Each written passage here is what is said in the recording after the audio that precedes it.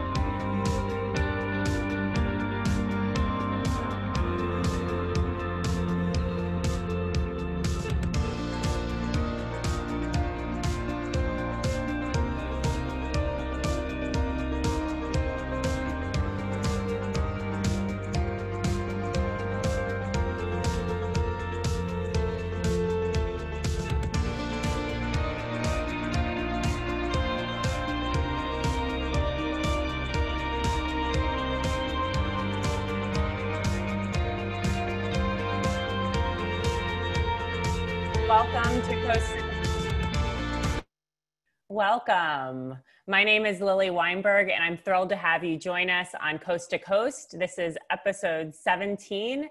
It's hard to believe that we've been on this journey for uh, four months, um, looking really at the future of cities in context of COVID 19. Um, we've looked at all sorts of topics from mobility to equity, um, with really an emphasis on public spaces and technology. Um, we're really thinking through what are the tangible, practical solutions that we can think through um, for our cities and for all of you um, who are in the audience today. Um, of course, um, for the parents out there, um, including myself, um, what we do with our kids is on the top of our minds. Um, I, I, know I have a three year old who is in school, and then his world um, turned literally upside down um, when all schools were shut down. and so we're going to be looking at what are some of the solutions that we're thinking about for schools and really making them safe. How can we leverage outdoor space during this time? So, I'll examine how schools schools can leverage green space during COVID 19. And we'll take a look at how parks and public spaces can provide a safer space for outdoor learning. Um, and we have a leading expert on this. So I want to welcome Sharon Danks, the CEO and founder of Green Schoolyards America a nonprofit that supports schools in using their outdoor areas more strategically to improve the well being of children, their communities, and the urban environment. So, hey, Sharon, how's it going? Hi, thanks so much for having me today. I'm I'm thrilled to have you. Thank you for being here. I know all of the parents out there are are eager to learn more about what you have to say um, about schools and, and green spaces. So so thanks again um, for joining us. And um, what I really also think is is very very interesting about Green Schoolyards America um, is that you guys are the co-founder of the National COVID nineteen Outdoor Learning Initiative, um, which is helping school districts across the country use outdoor spaces as they reopen with physical distancing measures in place. So, so that's going to be um, a big bulk of what we're talking about um, today. Um, so for our audience members out there, um, so the way this is going to work um, for, for you, Sharon and, and me, is we're going to have about 15 minutes uh, for an interview. we'll go through a few questions around what you're doing now, how you're responding in context of COVID-19 and really kind of looking at the future, uh, you know, after, because hopefully hopefully COVID will end, right? Um, and, and there will be a future to, to all of this. Um, so we'll have 15 minutes of that. And then we'll have time for our audience members um, to put in their questions um, in the Q&A box at the bottom of the screen um, or on Facebook or Twitter, hashtag Knight Live. Um, so we'll have about, you know, 10-ish minutes to, to take uh, live questions together. So with that, Sharon, let's, let's get started. Um, so I would love to start with um, some context setting. Um, you know, for you to tell us a bit about your work with Green Schoolyards America and why you started this work. Um, I know you've been personally um, involved with this for, for over 20 years, and Green Schoolyards has been, um, you guys have been at this for about seven years. Um, so tell us a little bit about what you're doing and, and your, your, your theory of change. Sure, thanks. Um, I've been I've been in the green schoolyard field for 20 years. Originally started in, in grad school, looking at the question of how do we make green cities. Um, and it seemed to me that that it wasn't a technical problem. We know how to make cities that that are good for um, the ecosystems, but it's a consensus problem. And so I've been working on trying to solve the consensus problem of green cities. I'd say for the last 20 years, as someone with an urban planning background. Um, and, and I also have been intersecting that with how do we make great spaces for children um, in my work in general. And to me, a green schoolyard is a place that um, is a microcosm of the green city that you'd like to see. So it's a place where you can demonstrate how, where the rain should go when it falls, how it comes off the, the rooftops and goes down the downspouts and soaks into the ground, um, how you can plant trees to change the microclimate um, of your neighborhood and also directly protect kids from heat. Um, how you can add wildlife habitat for the birds and butterflies coming through and grow food for, with agriculture and then also involve kids and teachers and the community in the democratic processes that are um, that we'd like to see around how shared public space gets governed and decisions made for that. So for me, it's always been about about that um, shifting a schoolyard into the place that you want to model what you want to see in the, in the environment. And um, about seven years ago, after designing green schoolyards and working on participatory design um, in many schools, I decided to found a nonprofit, Green Schoolyards America, to work at city scale change and to work with school districts and ask them the larger questions that would, I hope, change the norm for, for what we think of as a traditional school ground. How do we turn all of our school grounds into more park-like spaces that have benefits for children's learning and health and ecological systems um, and community access to public open space. And so we work with school districts and we ask them, you know, what do you want the hundreds of acres that you manage to do for your kids and your community? How do you want it to be resources for education? How do you want it to help mental and physical health and, and the ecosystems? Um, and, and we're thinking about this too on the larger scale and the state scale where we live. For example, in California, we have 10,000 schools and they are collectively on 130,000 acres of land with a daily user rate of 6.2 million kids and several hundred thousand adults. And so that makes it some of our most heavily used public land, public park space, but we're not investing in it as if it matters and as if it is the most well-used space. So, so that's the frame we bring to this. We start from, from the kind of land base of it and add and ask what we want from our shared public space and how we can act together to make it better. What, what's so interesting about this is that I mean, schools, what you said is, is so powerful because schools take up so much of the land within our cities, but we don't think about that land as part of kind of the, the the bigger picture of our you know public space. Um, and so this is really an, an interesting holistic look that I, I don't think is necessarily new. My understanding is in scandinavia um, many countries are looking at it more holistically that, that, this is all part of the you know public land and and and um, in their country. But in the united states that's not necessarily a common practice is my understanding right Right, right. And, and um, I also um, co-founded an organization called the International School Grounds Alliance. And so we meet with colleagues from Europe and Asia and elsewhere and look at how they use land. And we're trying to essentially with Green Schoolyards America here, trying mm. to look at which of those ideas would fit in our context that have mm. been, are tried and true and that have resulted in large scale shifts that are really positive for kids and the environment. And so we look to Berlin, Germany, for example, where 25 years ago, they made a law that every um, every school property and I think every parcel has to absorb all of the rain that falls on wow. that parcel. And with that one public policy change, uh, 400 schools almost completely un, unpaved about 20, 25 years ago. And now they have uh, what they called sponge schoolyards, which have which absorb all of their stormwater and which have forests where on all the school grounds. And so you have kind of the wow. ideal setup for climate resilience and um, nurturing children in park-like spaces. And so that's yeah. what we're trying to model. We know it works. It's been done. It's been done decades ago.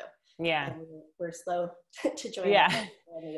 Right. And, and so I want to also link to your book, Asphalt to Ecosystems, um, which also will goes in, you know, more in depth in, in the concepts that you're talking about.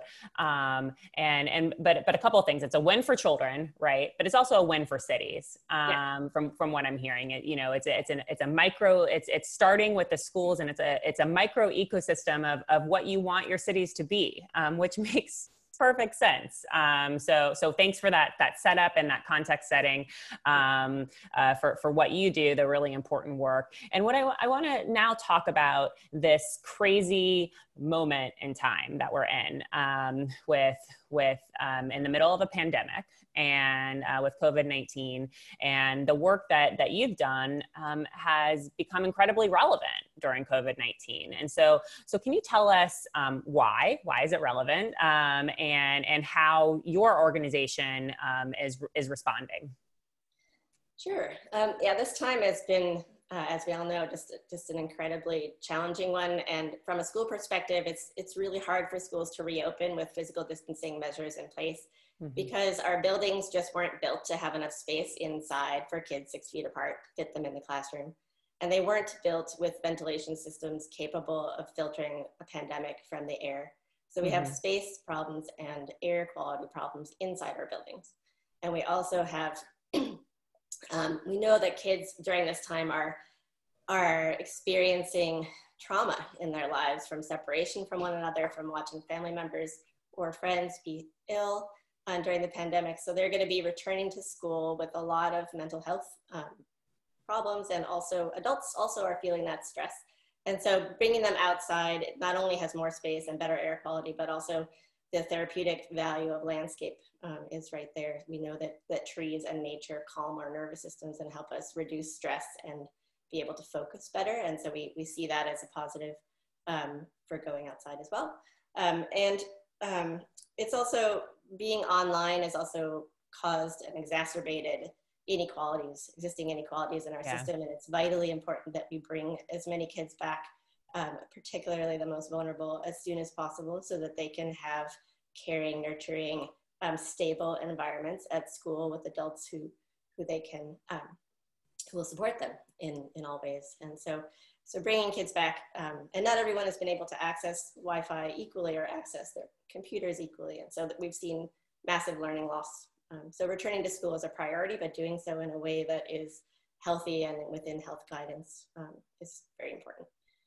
So to meet that need and to address those concerns, um, we, we collaborated with uh, four other, three other partners, the Lawrence Hall of Science, which is a science museum, Ten Strands, which is a nonprofit, um, and uh, San Mateo County Office of Education to create something called the National COVID-19 Outdoor Learning Initiative, um, which supports schools and districts around the country in their efforts to reopen safely and equitably uh, using outdoor spaces as strategic, cost-effective tools that mm-hmm. can maximize the number of kids who can safely return to campus with physical distancing.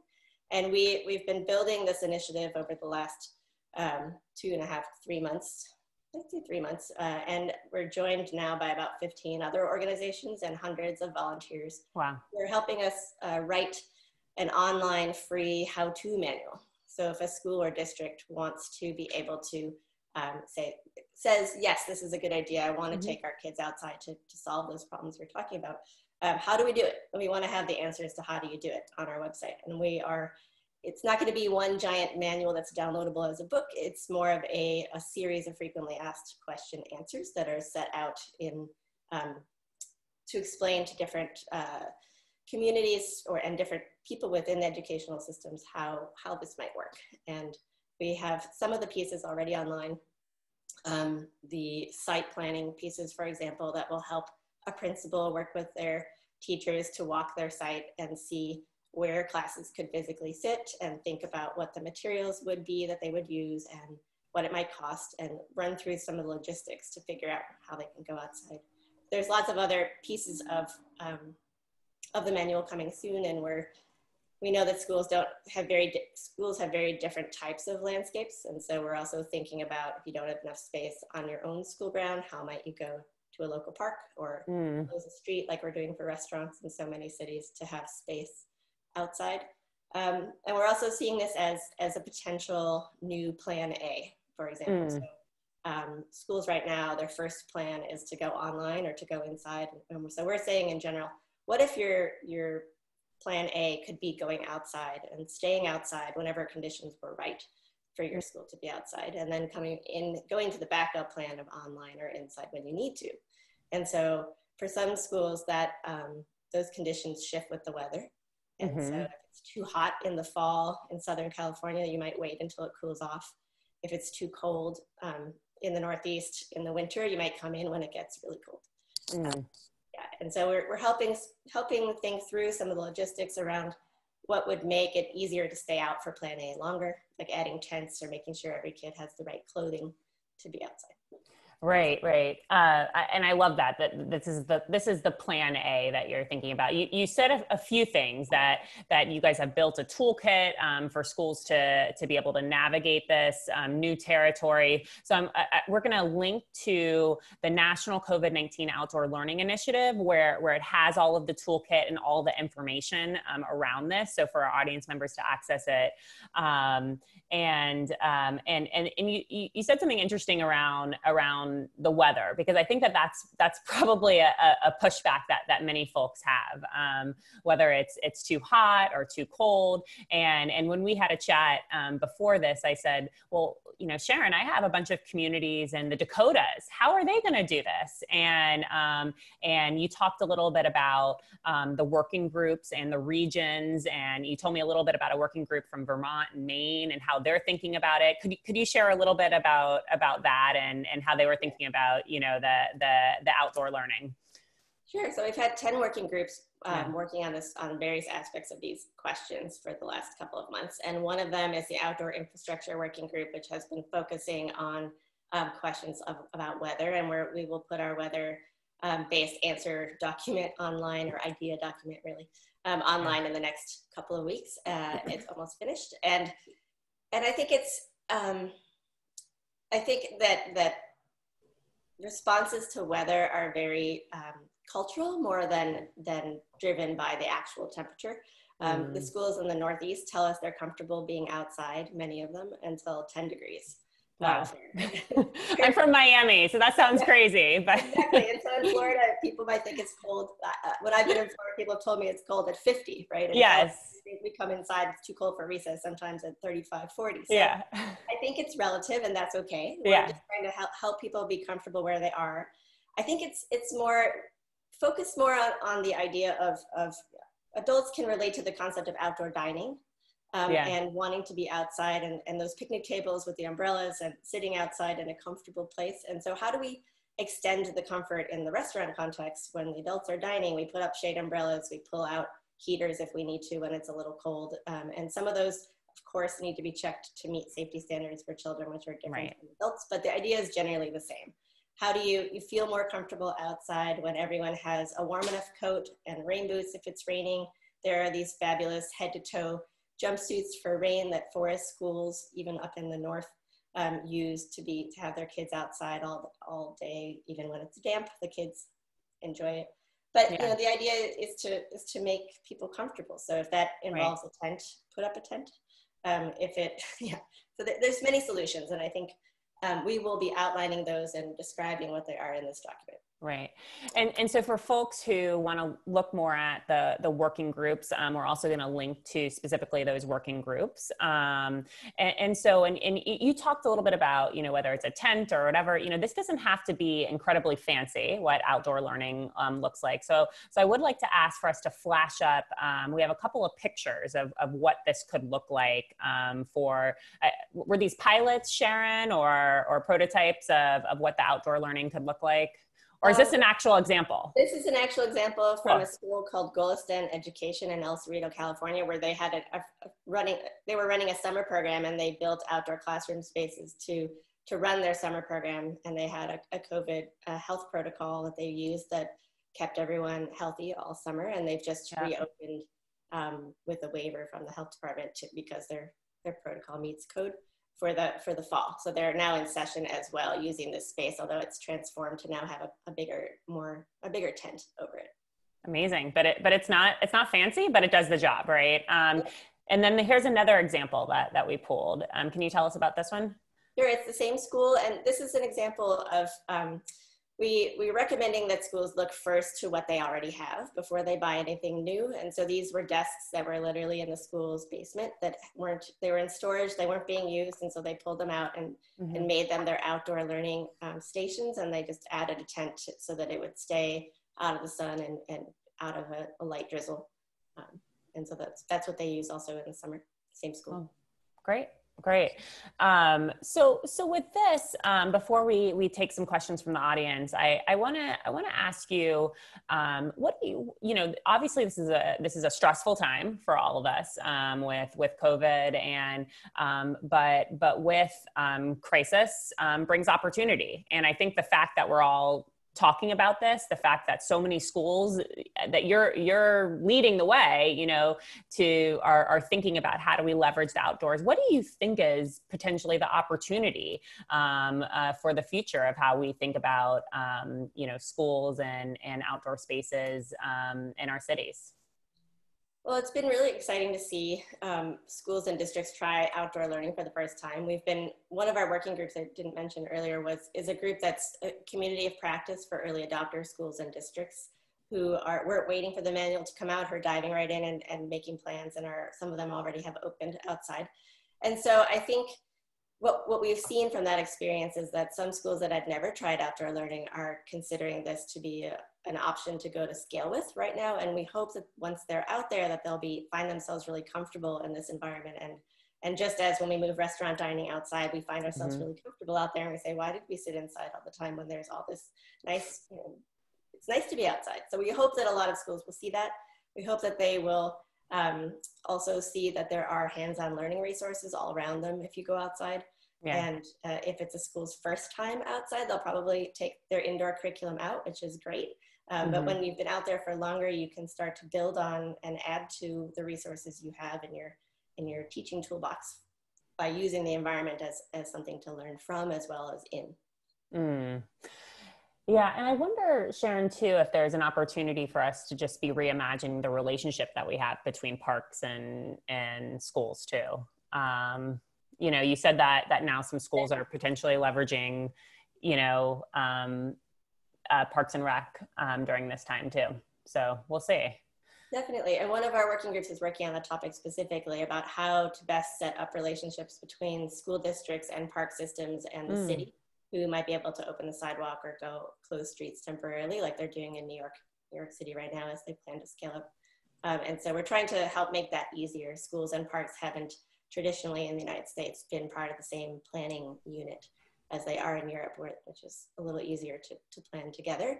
But they are both public public lands for public benefits, and it would be wonderful to see them weaving their goals together and collaborating more in the future as well. Mm, mm, absolutely, especially in our in our denser communities. Okay, great. So let's let's take some questions that we have from the audience. Um, so so the first one that I see um, is around a question around engagement. So how engaged have families and their students been willing to be, and what have been some best practices in engaging with with the families um, during this time? Um, we have another working group working on community engagement recommendations, yeah. and those will be online shortly. Um, we're, yeah. We are recommending that the communities be involved in the decision making that the schools are, are going through right now. And I think parents uh, are super involved um, as mm-hmm. are teachers in responses to COVID. Everyone wants to keep um, everyone else, they want to keep themselves and everyone else healthy and safe. And so I think that's been the priority. It's been kind of a triage moment of, mm-hmm. you know, how do we do this? And um, and it's it's uh, easy to overlook all the people who should be involved in that conversation but we we definitely think that all all people who are affected parents students teachers principals should be asked what they want for their school and be part of the conversation to craft the solution that they'd like Mm, absolutely. And so, so there's a question, um, kind of a follow up around this um, for for schools that maybe aren't on board for for outdoor learning. Um, uh, are are there any um, techniques um, or you know part of the toolkit that can help um, persuade them, perhaps, to to get on board? Yeah, I think that there are, I mean, you can come outside. It's beneficial to be outside as much as possible. So yeah. that could be during class time, but it also could be at lunch or if the school serves breakfast. And those are times of days when all the kids and all the adults who are eating will have their masks off. So what mm-hmm. better time to be outside where the air is fresh and the breeze is blowing um, and transmission rates are much lower. So just having meals outside is important. Mm-hmm. Having PE outside, potentially having music outside if you can space um, kids apart, having art or a library outside, mm-hmm. um, things like that. We spoke with one librarian who had designed a whole outdoor library program because she knew that she was going to be asked to see 500 kids at her school and wanted to make sure that they were um, not all coming through an indoor space where she was. And so she mm. created an outdoor library program. So it's, it's not just the classrooms. Um, definitely any specialty programs um, benefit from being outside. So the more of the day that can be out, the better. Absolutely. So, so one of the things that you said um, was was around dressing appropriately, right? Um, and uh, especially as you know, weather weather is going to be changing, um, and and um, so there's a question kind of around the equity piece of that, um, and and so you know how how can we ensure that that children have the proper clothes to be able to um, you know withstand the the the, the cold weather um, you know uh, for, for outdoor learning. Have you have you guys put any thought into that? Yes. Um, we think that, that the clothing should be considered part of the infrastructure for mm-hmm. outdoor classrooms and that it should be budgeted for along with the tents and seating. Um, that it is something that um, that that every child needs. And so there could be a, schools could handle that differently to assess how many of what they need to buy um, for clothing but we think that they should check and make sure that every child has warm enough clothes and either talk to um, retailers who might be able to give them bulk purchases of new items or some we've heard at least one district talking about trying to source um, high quality used clothing to, to be able to hand it out for free as well because they didn't have a budget for, for it yet. Um, but we think that it's central to be able to, to do it. And the best way to do that is to think of it as infrastructure for being outside. Um, it's part of the gear that's needed. And so it should be provided by the same um, centralized school uh, processes that are building outdoor classrooms. Absolutely, I, I, love that. It's part of the infrastructure. It is just just part of what has to be done. Um, when I was in um, when I was in Copenhagen, um, Sharon, I think we, I told you this before, but um, you know when when they had bad weather they they well when i when i claimed there was bad weather they said no no no no there's no such thing as bad weather. There's just bad clothes. Um, and you know that we all that you just have to be prepared. Um, and but making sure that our children are protected is, is critical. So it seems like you're absolutely thinking about that. So there's a question um, around um, and you you highlighted this about the budgeting piece and and you know that you put this in the budget but but of course you know schools are um, are you know don't have as, as much resources as they've had before. Many are are really stressed actually financially. And so so how how what part of the school budget are you recommending that we pool these funds for to implement these ideas um, you know around the outdoor learning? Have you guys thought about that? Yeah i think that that budgets follow priorities. Mm-hmm. Um, and it's a question of making this a priority. We, when when everyone thought that Plan A should be online learning, the funds came out of the woodwork to buy computers, um, mm-hmm. and and also the the um, indoor you know indoor screens like pieces of plexiglass are going in everywhere. That money is coming from it is because schools are focusing on indoors as a priority. It exists. Um, mm. so and and we imagine that that can be shifted when you say our priority is to be outside. The same resources that fed those, those um, pieces of the budget could potentially feed outdoor learning. We have heard some school districts are using CARES Act funds to build mm. outdoor classrooms as they would to, to shift indoor classrooms. We've heard others doing fundraisers around, um, around their programs, but I think that we need to put it in the same category as providing the infrastructure to go online or providing the infrastructure to be safe inside and thinking about um, you know what are the costs to society if we can't get our kids back in a safe way all those parents who are out there trying to trying to work with kids at home or or who's you know equity wise kids who can't access any school unless they come back and if inside doesn't have enough space and not not enough air quality, uh, not good enough air quality, then we, you know, we can't shift that piece of the economy uh, forward. And, um, and so I, I, think it just should be a priority and should be prioritized in the budgets, basically. Absolutely. It's, it, it is what you said earlier, and we have to wrap up, but the, the time flew by. Um, but, but this is about being plan A, right? This is plan A, and this is the priority um, we're in a crisis and and we have to you know figure out how to make sure this is a priority within our communities and how this is a priority for our kids um, and and so with that um, sharon um, thank you so much for talking with us um, about how we can leverage um, uh, green spaces um, for our schools um, during this very, very dynamic time during the pandemic. I really appreciate it. I appreciate your leadership um, during this time and how you are working with hundreds and hundreds of schools across the country. Um, there were a bunch of questions um, in the chat around looking at pictures, um, finding out more information. for everyone who wants to have more information, we linked everything into the chat box below in the Zoom webinar.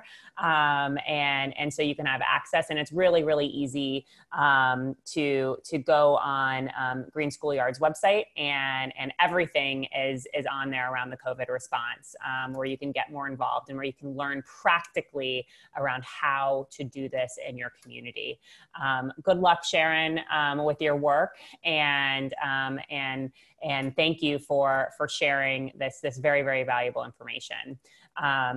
Um, for our viewers out there, um, next week we are going to have Gabe Klein um, on our show, and we'll be talking about the future of um, budgeting and how cities can really look at their budget and during um, this really uh, difficult, dynamic time. Um, and and so, with that, uh, see you next Tuesday at 1 p.m. Eastern. Take care.